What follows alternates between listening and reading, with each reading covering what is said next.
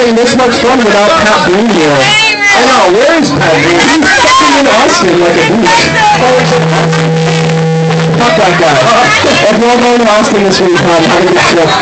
So, this is our last show, and before we play, I want to do the, like, shitty thing and thank everybody and tell everyone to stick around for Aquaman because they're fucking and, and they're going to make us look so and some of these shit's already on stage, so it's going to go quick. Yeah, exactly, because we don't have any gear. We've never played before, so. Yeah, this is our, this is our second show. It's our first with this drummer, so it may as well be our first show. Yeah, right. All right, ready? Make a song. It's called The